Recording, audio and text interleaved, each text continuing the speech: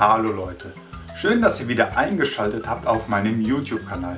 Mein Name ist Christoph und heute sprechen wir mal über die kostenpflichtige Maut in Polen.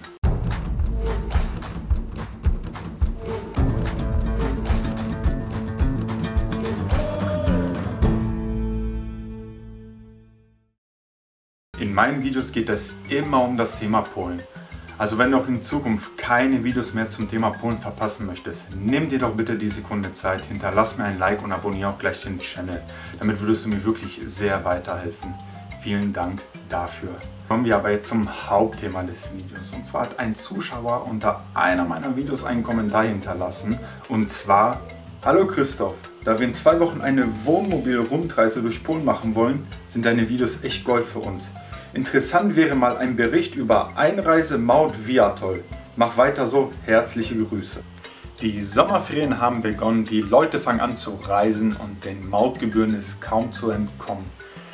In Polen werden Mautgebühren berechnet. Die längsten Straßen, wo es berechnet wird, ist die A1, A2 und A4. Es gibt aber auch noch weitere Autobahnen, Landstraßen und Schnellstraßen, wo es berechnet wird.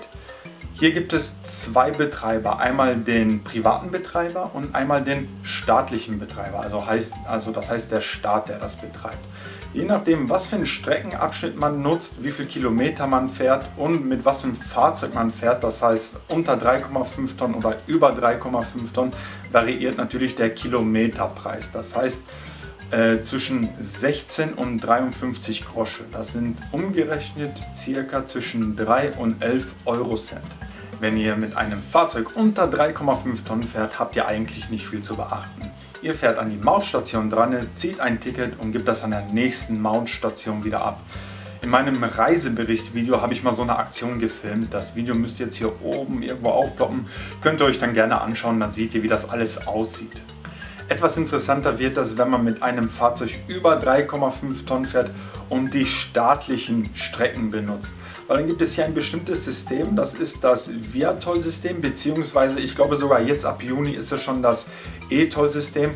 Und um einfach eine Strafzahlung oder Probleme zu entgehen, gibt es da wirklich zwei, drei Sachen, die man beachten sollte.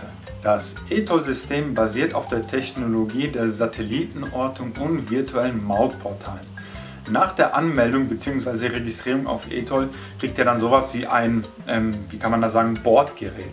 Dieses Bordgerät klebt ihr dann vorne zum Beispiel oben rechts an der Windschutzscheibe dran und dieses Gerät übermittelt dann weiter über Satellit, wo ihr euch gerade befindet bzw. Äh, beziehungsweise welche Stationen ihr bis jetzt gefahren seid wodurch dann auch berechnet werden kann, wie viel ihr an der nächsten Mautstation bezahlen sollt.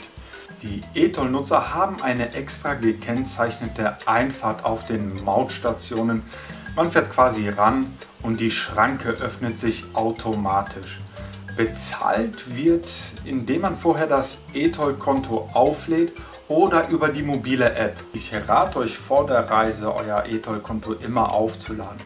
Solltet ihr trotzdem mal in die Situation geraten, mit einem nicht ausreichend gedeckten Konto durch eine Mautstation zu fahren, habt ihr danach trotzdem noch drei Tage Zeit, die fehlende Summe auszugleichen. Solltet ihr das nicht tun, kann eine Strafe von bis zu 1500 Slotte auf euch zukommen. Alle weiteren Informationen zu eToll, wie man sich da zum Beispiel anmeldet und Informationen, wie man seine Autobahngebühren ausrechnet, wenn man zum Beispiel von Deutschland in eine bestimmte Stadt nach Polen fährt, packe ich euch dann gleich unten in die Videobeschreibung.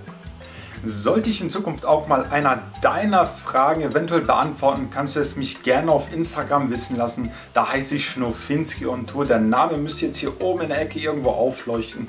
Des Weiteren würde ich mich wirklich freuen, wenn du den Channel abonnieren würdest und mir ein Like da lässt. Damit würdest du mir wirklich sehr weiterhelfen. Vielen Dank fürs Zuschauen.